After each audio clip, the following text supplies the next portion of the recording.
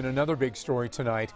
Off the job for almost two years, Monessen's mayor comes back to work unannounced and almost immediately fires two top city employees. His action surprising some council members as well as the public. The mayor, along with two other council members, voted to fire the city administrator and solicitor. And tonight, the other members of the council want to know why. Channel 11's Michelle Newell live for us tonight. Michelle, for a small town, it sounds like politics are at play here.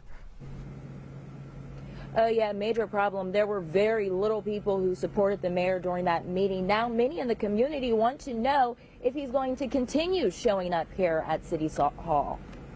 It wasn't a warm welcome for Monessen Mayor Matt Shorraw.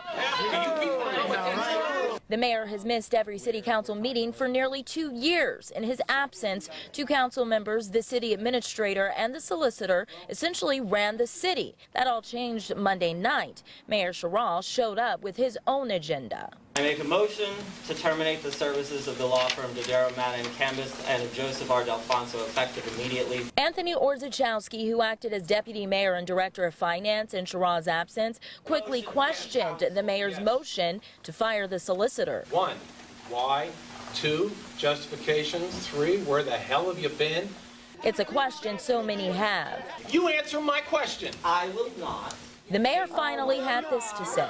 We are moving in a new direction. No, why? After the solicitor was fired, Mayor Shorraw had the city administrator call the roll for her own termination. Judy did the job of three people for over a year. Orzechowski left the meeting with a change in roles, too. I'm currently now the director of parks. We called the mayor for answers. It eventually went to voicemail. Your call has been forwarded to an automated voice messaging system. We went to his house. No answer.